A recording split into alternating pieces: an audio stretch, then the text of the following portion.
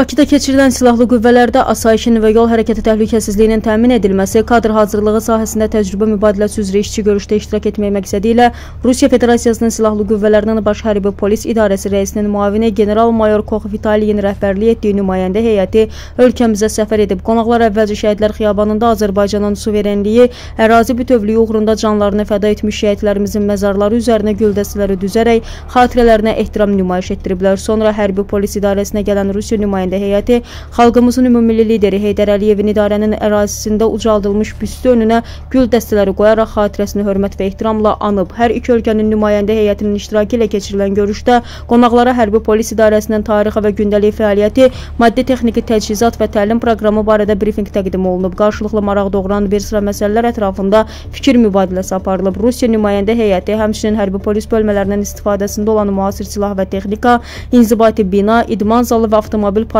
ilə tanış olub. Daha sonra xatirə kitabının ürək sözləri yazılıb. Rusiya qonaqlar səfər çərçivəsində hərbi polis idarəsinin tabeliyində olan en hərbi hissəsini nəzizə ziyarət edib. Təlim poligonunda hərbi polis bölmələrinin yaşayış məntəqəsi və hərbi obyektlərdə axtarış xilas etmə fəaliyyəti, silahlıların zərərsizləşdirilməsi və hərbi əsirlərin təxliyə olunması üzrə nümayiş məşğələsini izləyiblər.